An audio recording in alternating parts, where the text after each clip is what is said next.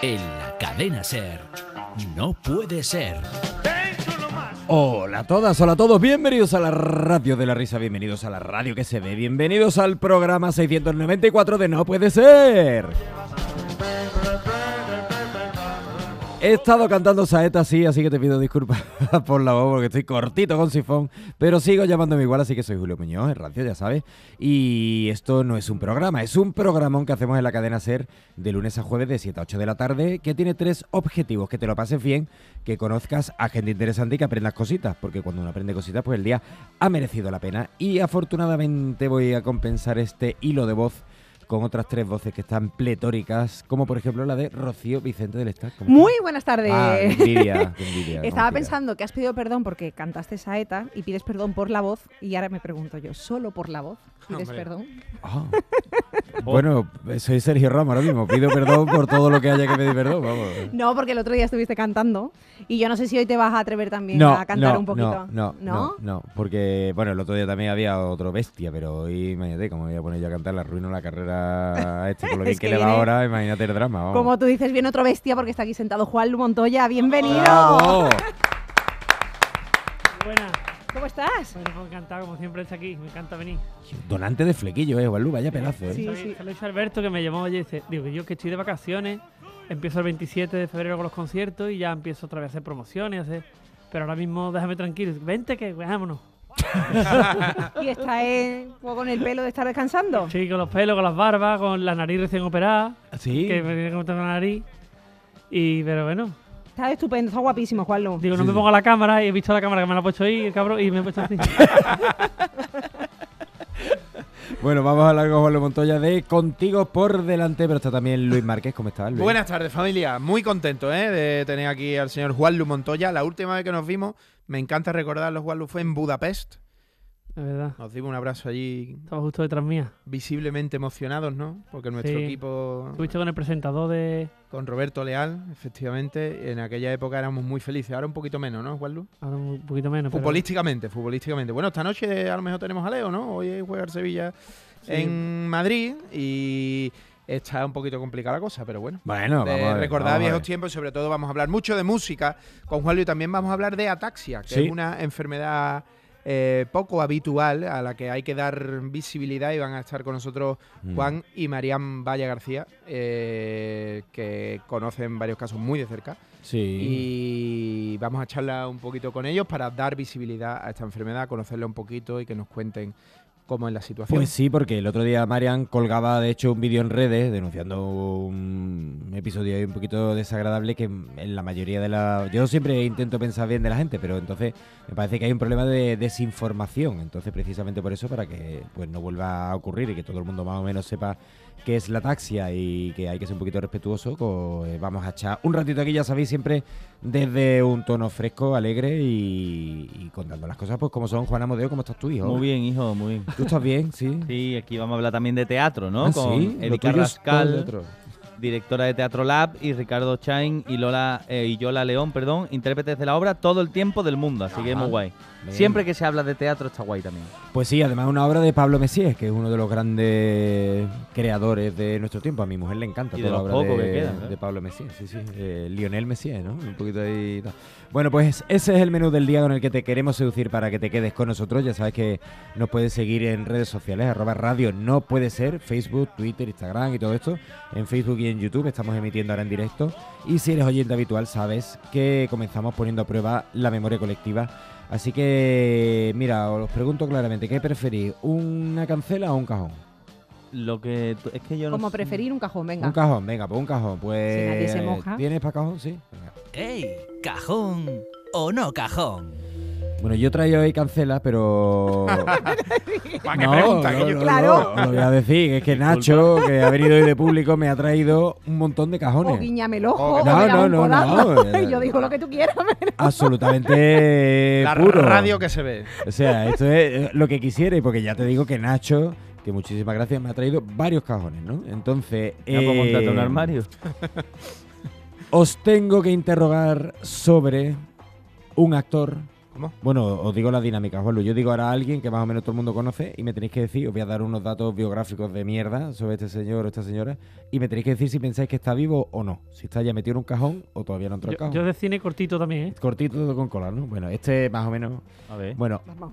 hoy os interrogo sobre la vigencia como ser humano de Mark Hamill, que supongo que no sabéis ninguno quién es, ¿no? No, ahora mismo no. Vale, pues Mark Hamill es un actor de cine estadounidense que es archiconocido por interpretar a Luke Skywalker en Star Wars. Ah, vale.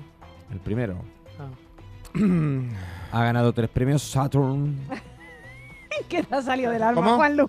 Premio Saturn. Premios Eso- Saturn. Tres veces, ¿eh? El- ¿Eso que se lo dan a las películas estas del espacio? no sé, es verdad, pero... Saturn. Saturn. Sí. Bueno, pues este señor nació un 25 de septiembre y aunque se llama Mark Hamill, su nombre real es Mark Richard Hamill. Tampoco se ha matado el hombre. Así se llamaba viva. Bueno, pues como os digo, nació en Oakland un 25 de septiembre y es actor de cine, de televisión, eh, también de doblaje, director, productor, también escritor y por supuesto su gran eh, icono, personaje icónico, el One Luke Man, Skywalker. ¿no? Claro.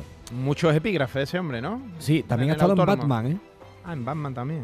Sí, también ha estado en, en No ha hecho ninguna película de cosas normales, ¿no? No, De- tiene de ente sin capa, ¿no? Eh, tiene una estrella en el Paseo de la Fama. Eh, Eso lo tiene cualquiera. y tiene tres hijos Mm. y ¿Cómo su- se llaman los hijos? en sus hijos no lo sé, pero Ah, sus padres se llaman William y Virginia.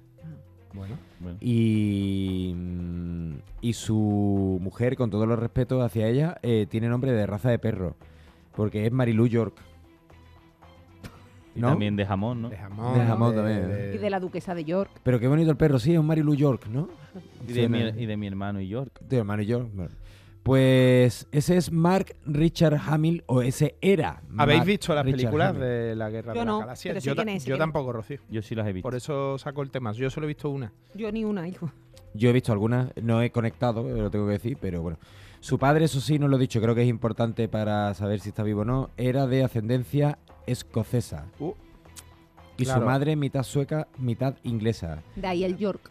Y, ah, no, pero era la mujer. la y de ahí el severo gusto por el pirrea que entiendo, porque Sí, hombre, el agua- son el todos agua- países de vámonos, ¿eh? el agua molesta en esa casa. Sí. ¿eh? Ahí lo que es el vaso largo, en fin. Eh, y bueno, si. Mira, tengo los nombres de los hijos, si quieres. Sí, sí, ah, por sí, favor. sí, por Sí, favor. Nathan, Griffin y Chelsea. Sí, te. Guay, Tottenham. Sí, ti- tiene solo un nieto por parte de Nathan, antes de que lo pregunte, que sé que. ¿Y cómo se llama el nombre? el- el- este no lo sé. Pero West Ham Junior. West Ham. sí sé la eh, mm, profesión de Marilu York, su Por mujer. favor. Diseñadora. Os doy un siglo y no lo acertáis. Es más difícil saber la. Taxidermista. Uy, higienista dental, tío. Ah. Qué poco glamour para Luke Skywalker, ¿no? Que Bueno, y los dientes lo tendrá estupendo, Hombre, ¿no, hombre, eso sí, eso sí, claro. un poco la- Un abrazo. saludo a todo el gremio de la odontología, ¿no? Que ganan mucho dinero, dar un palito también, ¿no? A ver si nada más que nos vamos a pedir meter con... Bueno, pues con estos datos eh, me tenéis que dar un- una opinión. ¿Pensáis que este señor, el actor que está detrás de Luke Skywalker, está vivo o está muerto? Juan ya tiene un veredicto. Sí, yo voy Ah, a esperar a que hable Juan. Juan Está vivo. está vivo. ¿Por las calzonas de algún equipo en concreto? Sí, de. Golden State, el- no, no, no, de, de- el Dark. Dark Side Football Club. Ah, vale, vale. Que es un equipito de distrito que montó. Ajá, como lo porto promesa. Claro. ¿Vale? Sí. Vale. Y, y nada, bien, bien. Vale. Está muy contento ahora mismo en Oakland. Ah, va, muy bien, sigue allí en su, con sus mismos amigos, en su barrio, bien. Y Luis, ¿tú qué piensas? Mira, este señor está vivo y está ahora mismo en su pisito, en un ático allí en Los Ángeles, Tiene trincado fuerte, ¿no? Las con peli- una camiseta del Glasgow Rangers, Ah, por parte Pe- de padre. de padre, pero de Paul Gascoigne, Ah, ¿te de- acuerdas por que parte de va- madre también. vámonos, claro, que nos vamos? le Está- gustaba viendo partidos antiguos. El Cardo Ricardo, claro, vale. Y Rocío, tú. Yo creo que está vivo y no le gusta el fútbol. ¡Oh! Ahí lo llevas. Es posible. Ya. Le puede gustar el béisbol, por Ajá, ejemplo. Vale, Sí, vale. O sea, pero no, no le gusta, no está con las calzonas. de ¿Habéis ningún visto equipo. alguna vez un partido de béisbol? Sí, una vez, pero ya está. Yo Tampoco conecté, tampoco conecté. Terrible, terrible, ¿no? Eso conectar es No imposible. me ¿no? gusta nada. La gente a la que le gusta el béisbol va dos horas y media tarde. Imagínate lo que dura eso. Eso es el que le gusta. O sea, Imagínate el que no le gusta. que no le gusta. claro. No, no, es Eso larguísimo. es como el chiste, ¿no? De, el de Villarreal, ¿no? Eh, ¿Cómo era? Yo siempre me lío explicando El ese chiste. Un concurso en la radio. Curso en la radio y el que quedó segundo El No, primer premio el era primer premio, una eh, semana en Villarreal y el que Y el segundo segundo. un mes. y el segundo premio dos Un semanas. mes en Villarreal. Villarreal es precioso, feo que- hombre. Saludo Eh, a la gente, ¿eh? Grogueta. A mí me hizo mucha gracia cuando fui a Villarreal taxi le digo, mira, voy a un hotel, eh, espérate que te busco la dirección. Fuiste a y Villarreal en taxi, Y me dice, no, no, no busques. No, que hay uno nada más. Nada más que hay uno. no, Ahora, no estoy lleno de azulejos, ¿eh? Oh, maravilla. Bueno, Juan Lu Montoya, ¿el actor de Lucas Skywalker está vivo o está muerto? Yo voy a ser más negativo porque Ah, mira. han sido ellos. Sí, un anime. Entonces yo voy a decir que no. Que, Mira, está tieso, ¿no? que Está jonazo. Que levante la mano en el estudio quien piensa que Luke Skywalker está vivo. Tío, todo el mundo a tope con él, ¿eh? ¿Y en la pecera? Cagonazo. Bien. En la pecera está. El- bueno, pues como te digo, siempre lo puedes mirar en el móvil y sales de duda, pero es más interesante si te quedas con nosotros y yo te lo cuento al final y así pues tener una excusa para acompañarnos todo el programa. Hemos puesto a prueba la memoria colectiva y ahora vamos a saber si estamos informados con las tres noticias que hay que conocer antes de que acabe este maravilloso Yo, jueves. que yo si, su- supiera escribirlo lo, busca- lo buscaba. La verdad que es complicado, ¿no? Ese Hamil que con H, ¿no? Es, es complicado el nombre del actor y el del personaje. Imagínate la cosa. Venga, vamos al parte, anda. Lucas está No puede ser. El parte. Bueno, mientras Juan lo busca y el nombre del actor, sigue nuestro amigo con micro abierto para comentar tres cositas de actualidad relativa, diría yo, ¿no? Pero Ah, bueno, vamos a charlar aquí un ratito, ¿no, Julio? Vamos con la primera. Uno. Vendiendo las sesiones somos. Sí, el no, tú sigues uno, hablando ¿eh? así de la burra. que Solo el 16% de los menores de 30 años está emancipado, ¿eh? Este dato me ha escandalizado a mí, ¿eh? El Sí, ¿no? 16%. O sea, mm, poquísima gente, ¿no? 16 de cada 100 menores de 30 años son solamente los que han podido irse de casa de sus padres, ¿no? Abandonar el famoso nido, ¿no? Eh, porque aquí consideran menores a las personas entre 16 y 30 años, ¿no? O sea, menores, perdón, jóvenes, menores hasta los 18, ¿no? Hasta que no alguien cambie eso. Y el dato es terrible, ¿no? En nuestro país hay 7 millones de personas con esa edad y 6 millones siguen en su casita con Joder. sus papás Increíble, ¿no? ¿No te parece un escándalo, Juan, tío? Tú eres, tú no, ¿eh? Tú tienes, bueno, tú tienes ya 30. ¿Y cuándo te, pero me- emancipa- cuándo te emancipaste tú? Yo me fui de casa de mi madre básicamente. con 26. 26. Y un poco más y te vuelve corriendo, ¿no?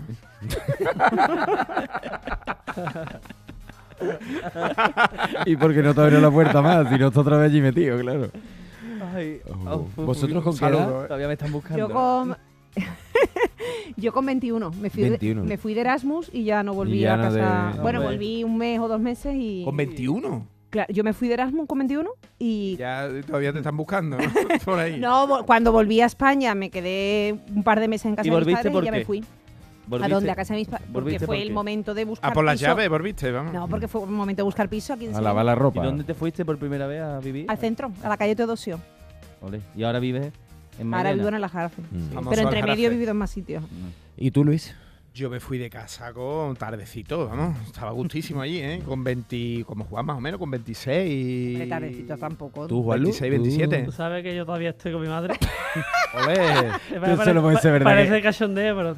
Que tú Sí. llenes estadio y estés viviendo con tu madre. claro, mira.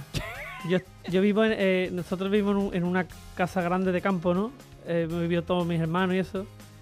Y yo, como era un poquito más especial con la guitarrita, que, que le daba mucho jaleo, pues me hice. Yo también soy muy manita y me hago mi. Y me hice la cochera de, de la casa de mi madre. Me hice un cuartito para tener la guitarra. eh, y poquito a poco, pues, pues fui, Fuiste aumentando. fui ampliándolo. Yo cantaba por los bares en Sevilla y todo lo que iba ganando se lo iba echando a- a- en, en que- Y ya empecé, ya empecé a tener hijos y cada vez más, más, más cuarto cogía. Y ya pues allí me he hecho mi casa y de allí no me vine con agua caliente. Qué Claro, bueno. Le, te- le tengo el agua y la luz enganchada a mi madre. No, yo vendo muchas entradas. No, digo, usted le tiene la luz que echa a su madre. Oiga. Hay gente que se compra su piso cerca de los padres por estar cerca de la familia. Juan no le ha hecho falta. Y la gente, Te la gente me dice allí. eh, que yo todavía no te he ido de, de, de allí del campo, ni, ni me voy. Ni me- No, no, no, ya imagínate, con el dinero que le ha metido aquello, claro, ya cualquiera va. Pero Oye, vivís no. emancipados, o sea, ¿vivís cada uno en una casa o tú, por ejemplo, sí, comes no, en no, casa de no, tu no. madre, lavas la ropa? y- Ah, vale. eso no, eso no. Mi madre en su casa, eh, eso es lo que hace falta a mi mujer. No, pero es la fórmula perfecta, ¿eh? Oye, yo vivo muy cerca de mis padres, paso bastante tiempo con ellos, pero cada uno, evidentemente, pues tiene Ahora me su- encanta levantarme y ver a mi madre por las mañanas y a mi padre. ¿eh? Hombre, qué Hombre, maravilla. Es una es un maravilla. regalo. Es un Sí. regalo de vida. Es una maravilla, Y pues. a mi mujer también. José Juan Luz está dentro de la estadística esta todavía. Claro, Claro, ¿verdad? tú Técnicamente, técnicamente no. No. te has emancipado. Bueno, Pues, venga, vamos con la segunda. Que por lo que sea que los alquileres están muy caros, ¿no? Los motivos. también y ayuda, ¿no? Lo Que no me sabemos imagino que yo en los los países chavales. nórdicos con, Trabajos. con 18 años salen corriendo los chiquillos y aquí por lo que También sea... hay que verse pues, allí, ¿eh? Los hay que padres verse de allí, allí, ¿eh? Muchísimo frío, ¿eh? Mm, Y los padres de allí que tienen que ser. ¿Vosotros de recicláis? ¿Recicláis? Sí. Y aquí hemos aprendido mucho con Lipasan, ¿verdad? Las Ecoembes, campañas, sí, sí. Ecoembes y tal. Vamos con la segunda, Rafa. Atención a la crítica de una estadounidense al reciclaje en España. Comillas, dos puntos. Todos vosotros estáis drogados. Es del carajo que lo diga una americana, ¿eh? Dice Daniel Groffman en Que su están allí de TikTok. fentanilo hasta las trancas, ¿eh? Que no hay ni uno que sea capaz de hablar, de yo terminar una frase, los notas. Allí la, y la- entre las escopetas en los institutos.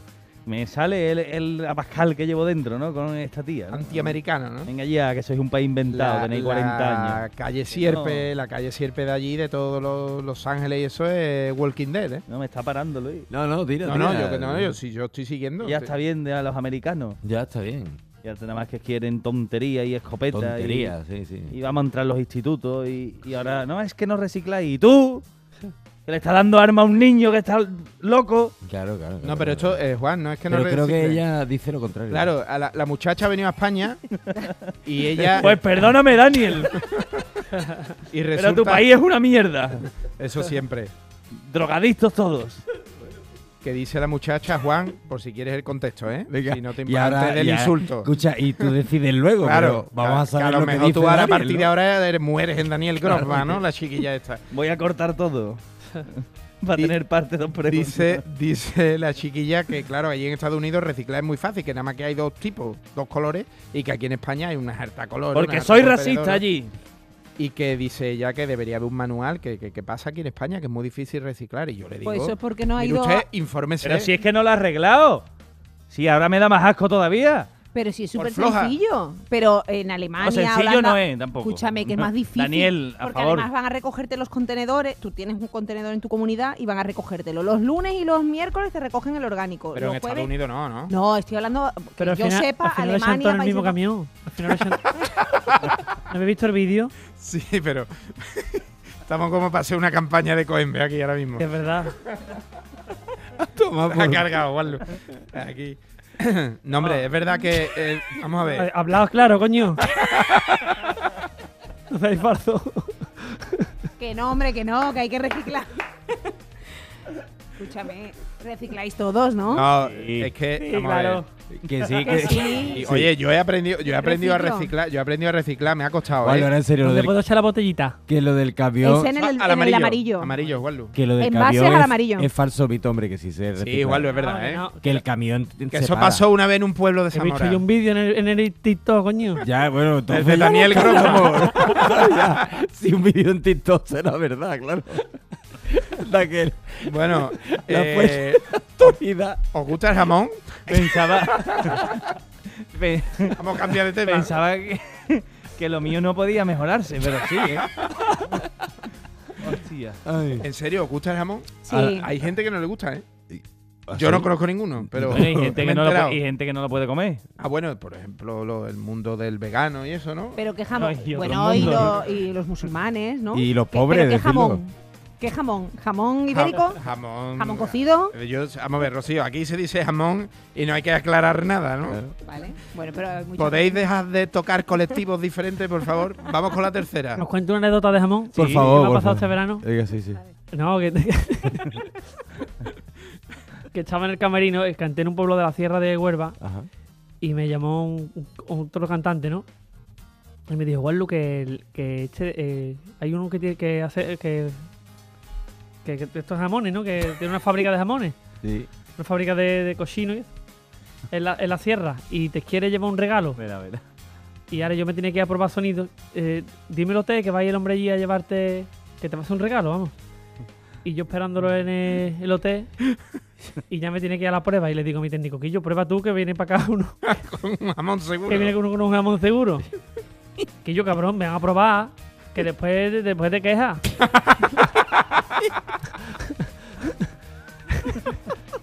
y no fui a la prueba, me quedé, me quedé esperando a- al hombre. Y te- Y pero me, te- apa- y me aparece con una caja. Digo, ahí no cabo, ahí no cabo jamón.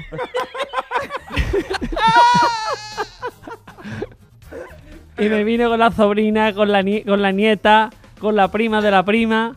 Hazte una fotito con mi. Te traigo un regalito, somos de jamón, no voy a decir de hecho, ¿no? No lo diga, no lo diga. Y cuando abro la caja, había dos paquetitos de jamón y chorizo. y tú sin prueba sonido. Y llegué allí a la prueba tarde y le digo a los músicos, tengo que comerse jamón.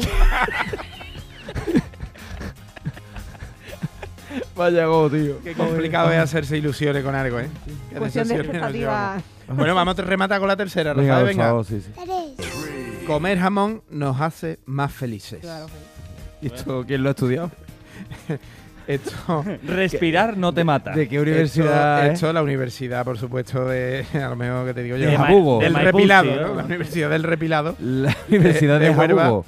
Que dice que comer jamón nos hace más felices, nos reduce la ansiedad, implementa nuestra felicidad. ¿Y por qué? Porque el jamón tiene una cosa que es un antidepresivo El natural tocino.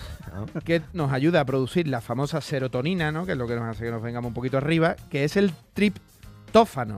Ajá. ¿Sabéis lo que es el triptófano? Centra del Panatinaico, ¿no? sí, sí, Triptófano. Cedió al Zaragoza. Que pues una, una, una movida que tiene grandes niveles de aminoácidos. eh, o algo así, la verdad no sé la explicación científica, pero es el triptófano, una cosa que tiene jamón y nos produce la serotonina y por eso somos tan felices cuando comemos jamón, menos cuando viene en una caja un chorizo Claro. con dos paquetitos nada más, ahí, ahí no hay tanta felicidad. Qué bueno está el jamón, ¿eh? Hombre, Sí, mu- sí, sí, sí. vosotros sois típico, ¿no? ¿Vosotros sois de comer jamón? ¿Qué preferís? ¿Un salchichón bueno o un jamón malo? No, pero un- una cosa que digo yo, yo por ejemplo, so- bueno, ¿no? Yo no, también. para mí tostadita con aceite Mm. sin tomate Hombre, es que le mata el y jamón. claro, le mata el Mezclar sabor. tomate y jamón para mí es demoníaco. No, pues para yo, mí. ¿eh? yo le echo tomate. ¿eh? Yo también. Sí, Yo, por- ah, pero yo sin sin mata, jamón. yo también tomate sin jamón sí, pero cuando Yo está le la meto cosa. El tomate. Eh, Tomate si el se jamón- carga Lo, todo. lo Claro. estás diciendo tú que eres medio catalana, ¿eh? Pero, le Pero que da- tiene que ver una cosa Pan con la con otra. tumaca. Soy tonta. Con tumaca bolsito. estás traicionando Oye, el tus pan raíces. tumaca este es solo pan y tomate, ¿no? Y aceite. Y sal. Y bueno, que sin jamón, te quiero decir, ¿no? Claro. Vale, vale. Sí, sí. Y de Ah, hecho sí. es Pero que yo no soy refregado, catalana. no refregado solo un poquito. Pues, Muy- muy catalán en eso, el ¿no? pan tumaca se desperdicia mucho tomate, ¿verdad? Que Sí, es porque tú solo coges como la el mitad- caldito. No creo que se desperdicie. No, No, pero le bueno. darán otra salida allí. Luego lo algo harán, trituran. algo harán.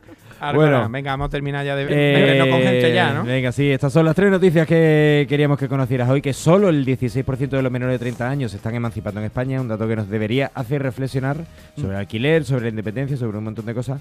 Ojo también a la crítica de una estadounidense al reciclaje en España porque ha flipado por todos los tipos de contenedores que hay, que se ha quedado volar la mujer.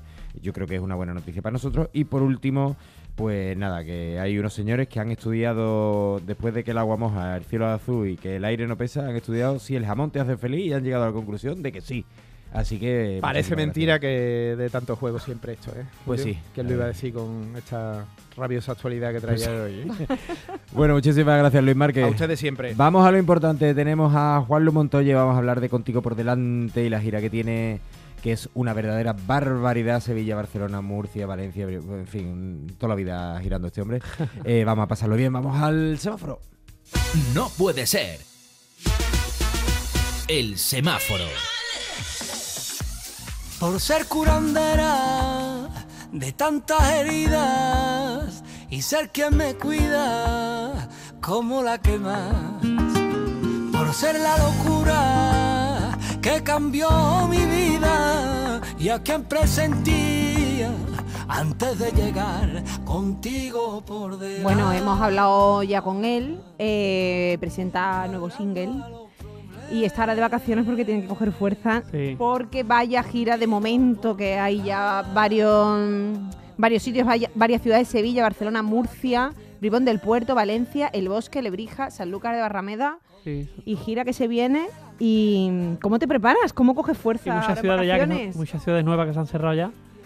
Y bueno, de vacaciones, llevo desde noviembre que terminé el anterior Y, y nada, me, me he tenido que operar de la nariz y, y estoy recuperándome sobre ¿Qué todo. te pasaba, en la nariz? Pues me operaron hace dos años y no me dejaron bien. Entonces estoy otra vez, me tienen que meter otra vez, además son operaciones chungas. Pero ¿Sí? de tabique. y Tabique, sí. Y además, para, lógicamente, para ti, para cantar, te, Es muy te importante. afecta, sí. claro. Me he llevado todo el verano con los ri- respibien estos que son malísimos. Y nada, me he desenganchado ya de eso y. Es que eso es verdad que o sea, es increíble, ¿eh? Sí. ¿Verdad? ¿eh? Sí, porque te ves que respiras muy bien y es mentira, lo que está, tiene los efectos de eso. Y nada, pero ya recuperándome, eh, las navidades jodía con la, con la nariz, pero ya eh, eh, escribiendo el repertorio nuevo y, ya mismo ensayando con los músicos y eso. Oye, Juanlu, yo te que eh, es una cosa que igual es una tontería, pero yo llevaba tiempo queriéndoselo preguntar a alguien músico. Eh, tú dices, llevo de vacaciones desde noviembre, ¿no? Eh, ¿Es mm, complicado tener una vida que coincide tan poco con los ritmos de los demás? Quiero decir, pues claro, normalmente las personas se cogen vacaciones en verano, Ya. que es como vuestra temporada alta donde lo tienes que dar todo. Ahora tú de repente paras de noviembre, que está todo el mundo como... Pues o sea, sí. eso es raro, ¿no? Es muy raro, sí. Pero bueno, ya, ya uno se acostumbra a esto, ¿no? Y después en verano siempre aprovecho por coger unos días entre semanas, irme con mi familia de vacaciones. ¿Y cuándo- cómo seleccionas el momento en el que paras? ¿Por, por las fechas que se van Sí, cerrando? o sobre todo por la fecha. Sobre todo porque, bueno, eh, yo creo que la temporada empieza primavera, un poquito antes de primavera. Y como este año se dio lo de Sevilla el 27 de febrero, una fecha un poco. Pues ya a partir de ahí hemos, hemos arrancado. Fecha muy bonita, ¿no, Juanlu? El día antes del Día de Andalucía, que es festivo. Cartuja Center para arrancar eh, bueno, un sitio que en el que ya has estado Sí, y que, que es un, bueno, un escenario muy chulo, ¿no? o sea, a mí me encanta. Y suena de puta madre, a mí me encanta ese sitio y, y a la gente le gusta ir allí también a ver cosas, ¿no? El, ot- el otro día estuve viendo lo de Juan Dávila, esto, y me lo pasé increíble. Sí, ¿eh? sí, sí, sí. Y nunca había estado yo allí en el Cartuja Center De público. de público. ¿eh? Es verdad que tiene, o sea, yo lo- con, con Juan con Juan lo vimos, que claro, son afuera 2.500 personas, ¿no? O No, 2.600. sentado 2000. 2000. 2.000, claro, es que, ostras, cuando lo ve, a nosotros cuando fuimos a ver a Juan, que estaba también lleno, desde arriba lo ve, es Mm. como, a mí me impuso, de verdad. Ah, no eso sé. es, es verdad, Juan estuvo hace poco, ¿no? Juan también me hizo ahí 30 de diciembre, Y ¿no? me dio, o sea, me dio apuro. Dije, ostras, yo no sé si esto me impondría, porque es que es como monstruoso, ¿no? Es Sí, grande, se ve, grande, se ¿eh? ve a la- se- además se ve a la gente muy, muy. Como metía encima tuya. Ah, Sí, sí, sí. Pero claro, para ti es un poco jugar en casa, ¿no? Pues sí. Más bien juego en casa de Nutrera. bueno, claro, claro, claro. Ahí también por Pero, supuesto. pero bueno, también. Por supuesto, también porque al final es donde tengo más seguidores, donde. Creo que es Sevilla. Mm. Que Juanlu va la cosa bien, ¿no, tío? Eh, te vemos, nosotros te vemos cíclicamente, eh, una vez al año, una vez cada dos años, así te vienen Sí. por aquí, nos cuentas y siempre un pasito más, ¿no? Eso, ¿cómo, cómo se va gestionando, tío? Eh, Pues lo, mío siempre ha sido así, ¿no? Muy, muy pasito a pasito. Nunca he dado un paso de decir, ir al pueblo donde está ya, ¿sabes? Que siempre he sido muy poquito a poco y mientras sea subiendo escaloncito, pues, pues ahí vamos. Y, pero que soy feliz, eh, no me hace falta subir muchos más escalones para, para ser feliz. Tengo mi familia bien. eh, eh, la verdad que, que estoy muy feliz en este momento ahora mismo. Oye, la- las carreras buenas yo creo que se cimentan así, ¿no? Eh, escalón a escalón. Antes has puesto el ejemplo de Roberto Leal que hemos hablado antes. Roberto tiene una carrera también. eh, es raro, ¿verdad? Que hablemos aquí de Roberto Leal. tiempo que no hablaba decía, de- hacía Lo ha sacado Juan Luerte antes. Pero que, por ejemplo, es un tío que ha ido también muy paso a paso, muy paso a paso, que muchas veces, tanto en el mundo de la televisión o de la, o de la música, es verdad que hay carreras que son como un 0 a 100 en, en un mes, que luego son difíciles de mantener. No suelen mantenerse No cuando suelen son tan mantenerse, rápidas, ¿no? Yo creo que otra cosa es cómo te llegue a ti la carrera, porque a lo mejor esa persona lleva currando Claro. Un montón de tiempo y Claro, claro, a ti te ha llegado pepinazo. Pero hay otros fenómenos que tú dices, ostras, es que este chaval de dónde ha salido y de repente está sonando toda la radio y de repente desaparece igual que llegó y en ese sentido mm, recuerdo uno de los candidatos a los Grammy latinos que decía que admiraba mucho a los estadounidenses porque sabían temporizar Sí. las carreras de los artistas, No le llamó mucha atención, decía, los latinos queremos todo ya, ya, ya, y otra vez, y el número uno, y otro, y otro, y otro. Dice, y sin embargo, los americanos tienen como ese concepto más a largo plazo de voy a parar, dice, pensad en Bruno Mars. Dice, Bruno Mars hace dos años era todo, y ahora mismo está el hombre ahí con las carzonas del Cádiz, a lo mejor eh, Sí, tomándose un Comiéndose sus propias chocolatinas, ¿no? Claro, y dentro de año y medio vuelve a sacar disco y vuelve a ser otro pelotazo, seguro. Claro. Pero, Pero aquí no tenemos esa cultura, ¿no? Aquí es como todo más sostenido. Pues sí. Y lo mío, o sea, lo mío sobre todo, ¿no? Siempre ha sido así, ¿no? Mm. Que se lo digan a tu casa y a las, a la- a las cosas Al con, Pladú, con al Pladú Pladú. que has ido No, claro, haciendo. no, pero- Es verdad, un fiel reflejo, ¿eh? Claro. Eh, he ido conquistando... La casa de mi madre. la cochera de mi madre. metrito, metrito. Oye, te tenemos que hacer el semáforo, Juanlu, tío. Ajá. Lo siento, Bueno, Juanlo, ya sabes cómo va. ya pero- sabes más o menos cómo va. Mm. Este loquito. eh, hay cuatro cubitos, cada vez hay más cubitos, Juanlu. Cada vez que viene hay uno más. Pues depende del color, ya sabes que contiene un tipo de preguntas más o menos atrevidas. Las verdes son las menos atrevidas, amarilla intermedia, las rojas las más atrevidas. Y como siempre que venía y os parecían muy poco atrevidas, hicimos el cubito negro. Pero hemos traído una más, que es la- el cubito blanco, que es por si no queréis contestar vosotros, pues eh, lo elegís y una de las preguntas que elijas nos la haces a nosotros. Ah, venga, Tienes que elegir cuatro cubitos. Puedes elegirlos todos o todos de una. Venga, empezamos con el. Con el amarillo. Venga, empieza tú, Pues Rocío, que viene sí, de sí. amarillo también. Viene de amarillo, curioso. Sí, Tienes muy- el 6, el micro y el cubito, cada uno Todo de a un juego, tono ¿eh? de amarillo. Tengo muchísimos jerseys amarillos, muchísima ropa amarilla Sí. Bien. El Cádiz. Como piolín. Eres del y una- un ¿no? traje de flamenca. Ole. Bueno, vámonos. Saludos. ¿Qué cambiarías de ti? Bueno, ¿cambiarías algo de ti? Pues sí, cambiaría cosas, muchas cosas. Eh, pero creo que eh, el- la, la obsesión, ¿no? Eh, que no soy capaz de desconectar nunca. De, eh, estoy ahora de vacaciones y estoy ya pensando en, en el trabajo, ¿no? Y, y creo que eso, que soy muy obsesivo. Porque ¿qué cosa, ¿a qué cosas renuncias por estar siempre pensando en el trabajo? ¿Qué, ¿A qué piensas que le quitas tiempo? Bueno, por ejemplo, ayer, ayer estaba viendo una película y cada dos por tres mujer, ¿qué has dicho? ¿Qué? Porque estoy pensando en, Otra cosa. en, en las entradas de Barcelona o en la, ¿sabes? Claro. Y creo que eso. Pero es complicado. Pero eso es muy eh, que eso es lo que te iba a decir, ¿no? Porque al final, o sea, no es por eh, darte la razón y reforzarte eso, que evidentemente está mal y ojalá pudiéramos eh, Desconectar más, claro. más, claro. Pero al final es que tienes una responsabilidad no solo tuya ya Sí. con tu carrera, sino que hay mucha gente detrás y eso al final, ¿no? Yo, yo te lo digo por a, a millonésima escala, a mí me pasa también. Digo, ostras, es que me encantaría desconectar, pero que estoy preocupado porque Sí, pero depende de mucha gente. Pero conozco mucha gente que desconectan, que ¿Sí? dicen, dicen así y, y, y llevan su vida normal y hacen su... Pero yo estoy todo el tiempo...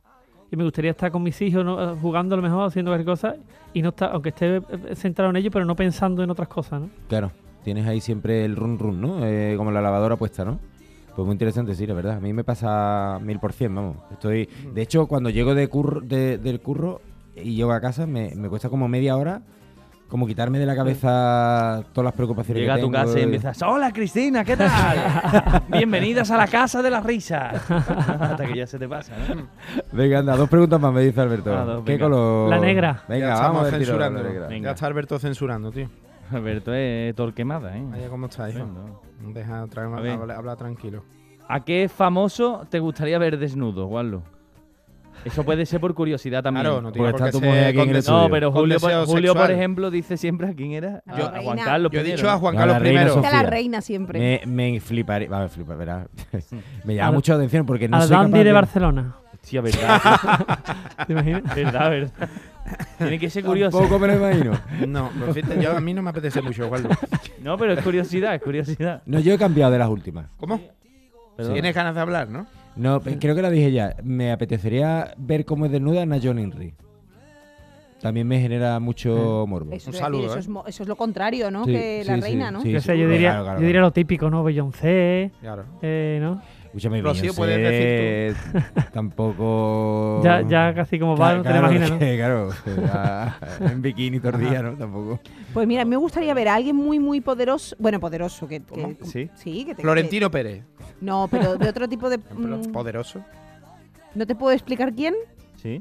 Pero como para bajarlo a la tierra, como para ridiculizar. O sea, Sí, poderoso en entiendo, plan mal para ridiculizar. Bueno, Churrita eh, para abajo, ¿no? Sale- o sea, ahora mismo Sí, no sí, no, jefe, te entiendo jefe. perfectamente y te digo una acción artística que hizo un pintor americano que en la época de las elecciones de Trump lo pintó desnudo. Sí, algo así. Y provocó justo eso, que, que al final ganó las Pedro elecciones. Sánchez, Pedro Pero Sánchez. es verdad que te, que te rayaba porque lo estás siempre viendo con, como tan agresivo, tan fuerte, con tanta autoridad, con el traje, no sé qué, que de repente verlo desnudo con su barriguita, con su catufilla. Vulnerabilidad. Mm, ¿no? Sí, sí, sí.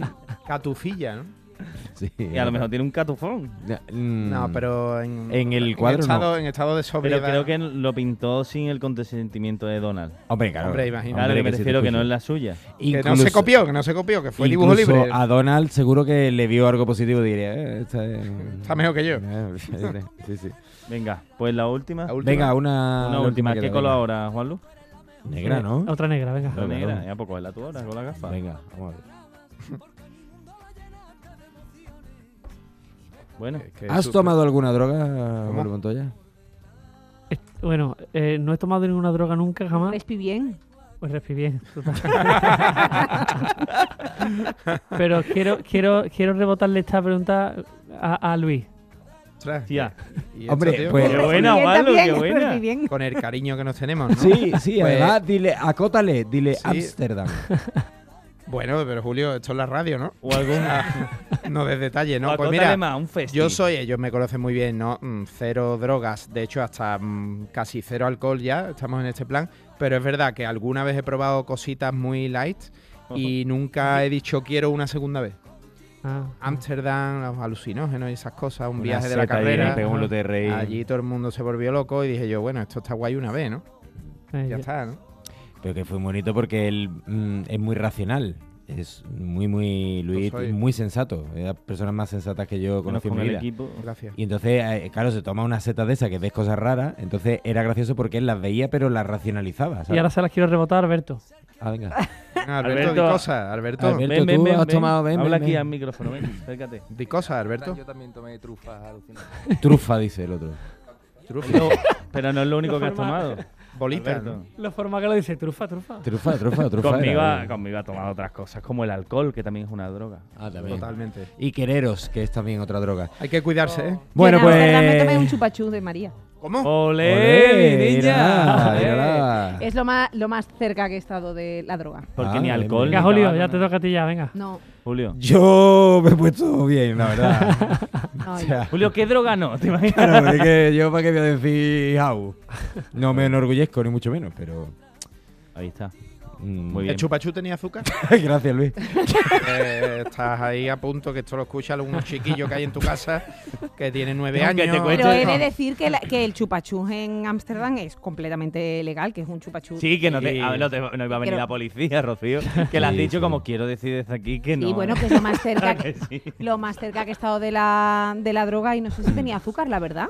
Bueno, recordemos El quitar azúcar es esta- otra droga. Sí, quitar- sí, sin duda. quitar esta Todo es una droga, el papel. eh. Recordemos quitar esta pregunta de El ahí, pero sobre todo recordemos que Juan Lu Montoya eh, tiene nuevo single que es Contigo por delante y va a girar por, ¿Por dónde? toda España. Pues el 27 de febrero va a estar en el Cartuja Center.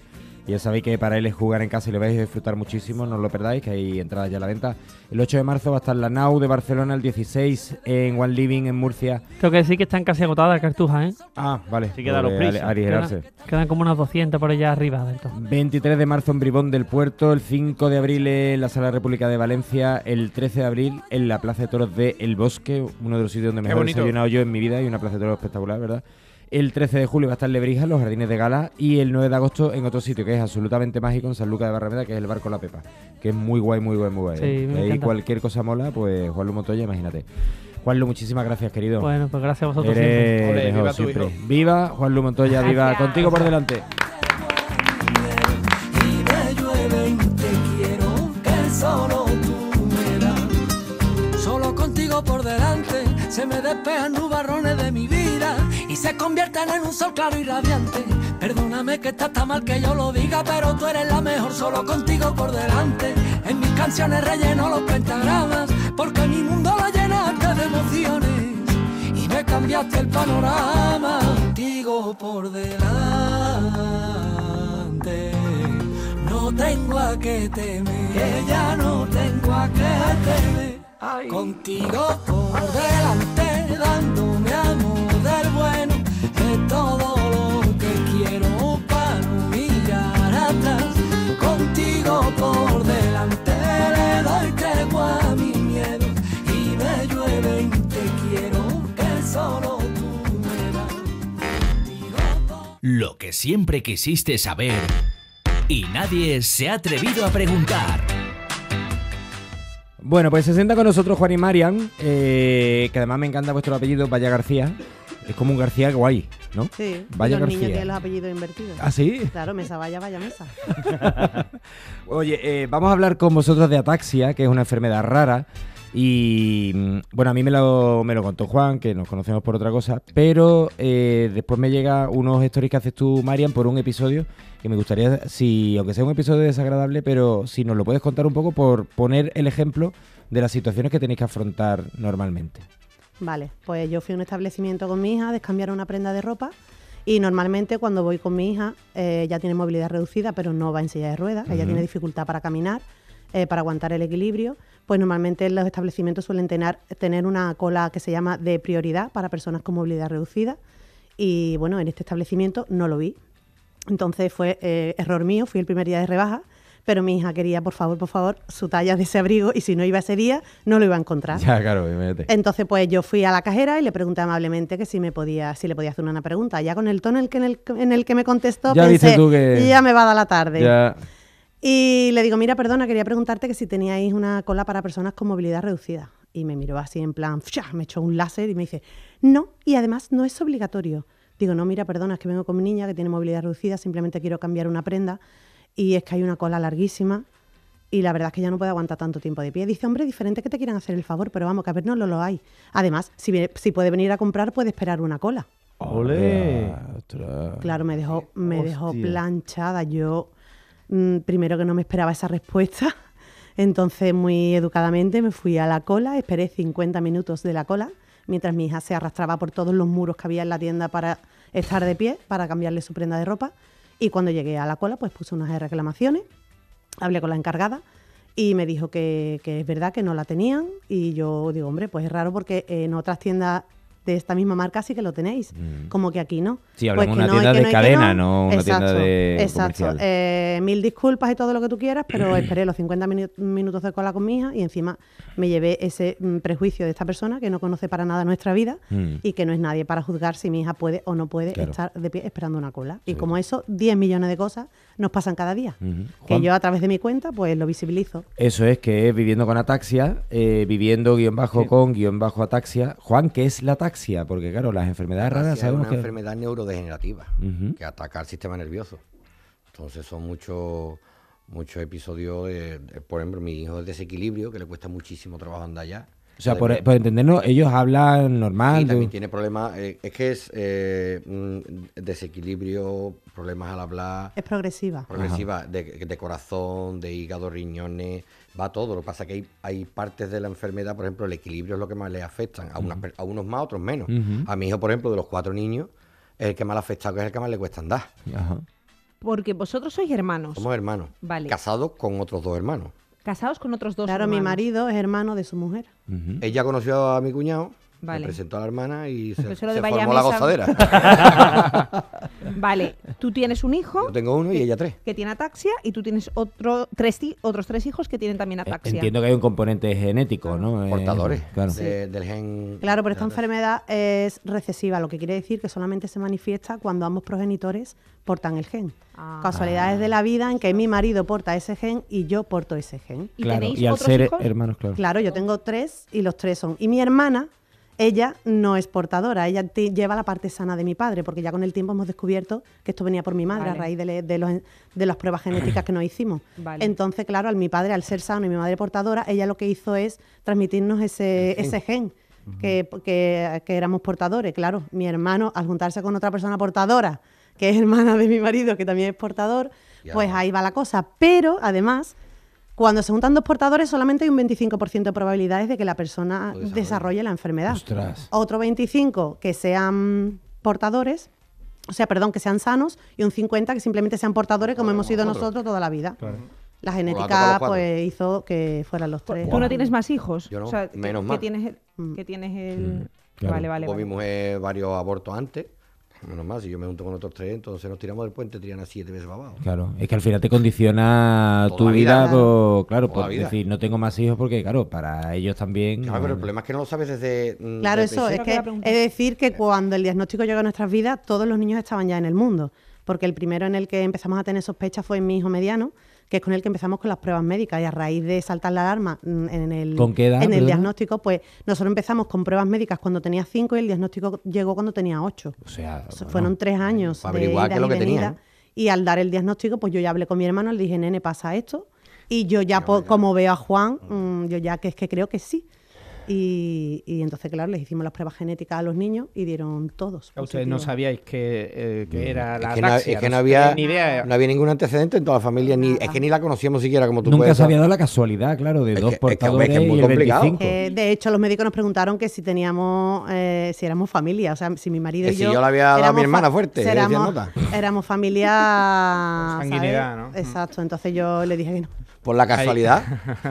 Bueno, hablando, hay que hablar claro. Hay que Vamos, hablar claro. que un arao, vamos. Pero, a- eh, ahora que obviamente estáis lógicamente muy familiarizados con esta enfermedad, eh, ¿sabéis cuántos casos hay en España, por ejemplo? O- Sí, hay unos 13.000 casos aproximadamente. Ajá. Son Pero es que dentro de las atasias Pero hay más de 300 tipos de atasia. Ya, Joder. grados diferentes, lógicamente, ¿no? Sí, pero bueno, son todas al final, son todas casi todas degenerativas y al final todas convierten a las personas en grandes dependientes.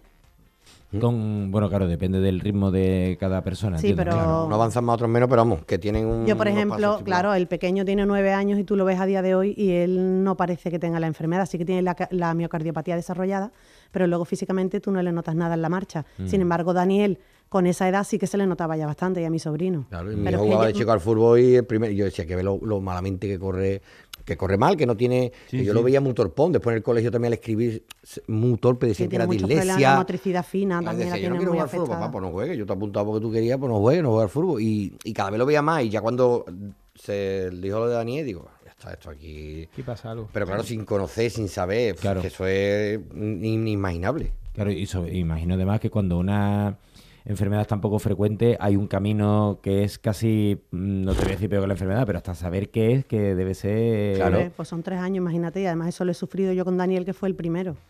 Porque a mí me dijo una primera neuróloga que el niño no tenía nada y yo decía, yo soy su madre y yo sé que aquí hay algo. Entonces pedí un cambio de médico, bueno, yo he pasado ahí en temas médicos, he pasado muchísimo, hasta que conseguí dar con una neuróloga que sí que le hizo todo y desde el minuto me dijo, algo hay, vamos a estudiarlo.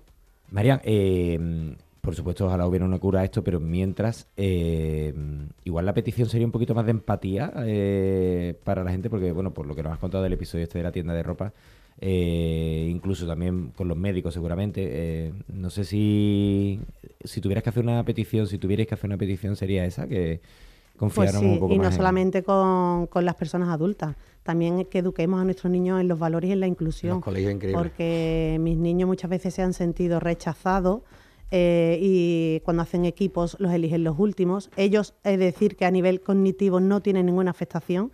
Ellos son completamente conscientes de todo lo que les ocurre en cada momento.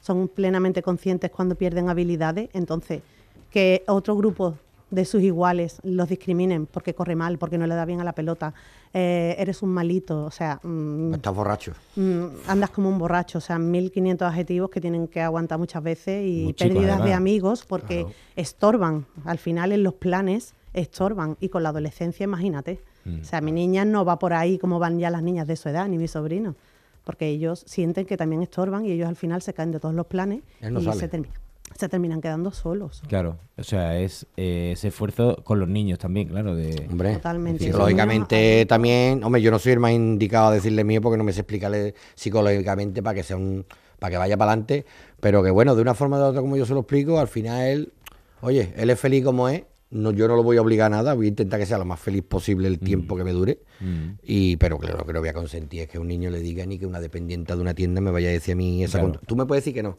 pero que tú, es que si hubiera sido yo el que estoy en vez de ella, seguro Claro, que, es al que- final te es que lleva a un límite. No, es que es Claro, que- y a mí me pasa muchas revienta. veces, también yo voy con mi familia, y nosotros tenemos aparcamiento con, para movilidad reducida de dos de mis hijos, de los tres, de dos.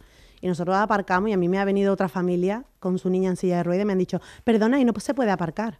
Y yo he tenido que dar explicaciones. No, perdona, yo también tengo baremo de movilidad y no uno, tengo tres y dos con baremo de movilidad. O sea, sí puedo aparcar. Mm.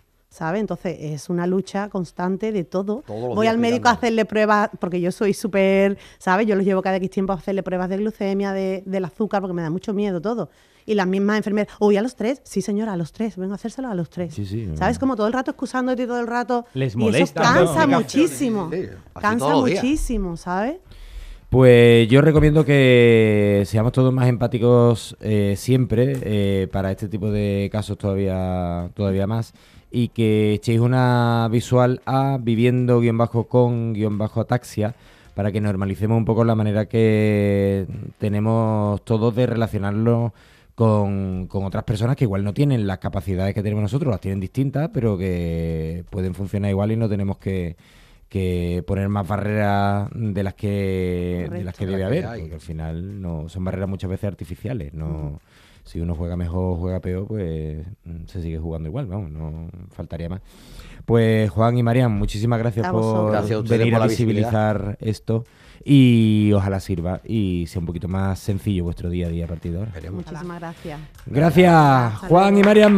Vaya, García.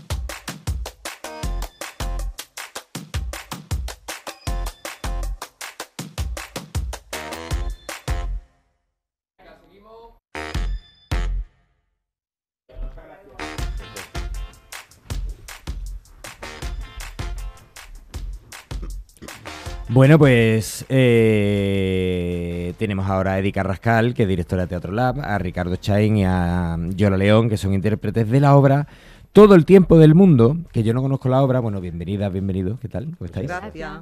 Pero mi mujer es muy, muy, muy, muy, muy friki de Pablo Messier. Y me ha dado mucha alegría verlo aquí porque hacía tiempo que no lo recordaba. O sea que algo más o menos eh, sé. Pero los traemos porque van a estrenar el sábado 27 de enero a las 8 en la sala CITE del Cartuja Center esta, esta obra. Que a mí me gustaría que nos contaréis de qué va todo el tiempo. Perdón, sí, todo el tiempo del mundo.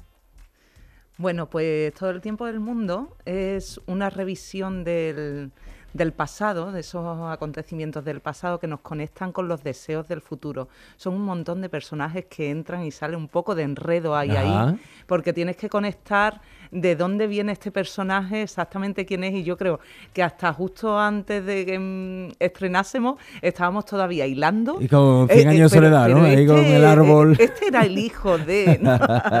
así, así. Qué bueno, pero a- al final, que es una historia de muchas generaciones, de mucho tiempo, de... Bueno, hay un personaje central que es Ricardo. Eh, Sí, es el dueño de una zapatería y durante un periodo que no queda exactamente muy claro, aproximadamente, bueno, puede parecer como una noche, una noche bastante larga, Sí. eh, pues de repente empiezan a aparecérsele allí en la zapatería gente de su pasado y de su futuro que están relacionados con él, que él no reconoce bien, entonces el tío empieza a flipar y aquello, pues un poco complejo, ¿no? Para, para él. Y bueno, al final no vamos a decir cómo se No. resuelve el tema, por supuesto, pero, pero es una obra muy, muy interesante, muy intensa, dramática, pero tiene también sus momentos de, de Muy comedia. filosófica. Muy filosófica, sí. Y plantea también unos, eh, bueno, sal- eh, la salud mental anda por ahí también, ¿no? Y como son, hay un abanico de personajes tan diferentes, eh, puedes conectar con la vida de cada uno. En cualquier momento de nuestra vida nos hemos podido encontrar con una persona que reconocemos en ese momento.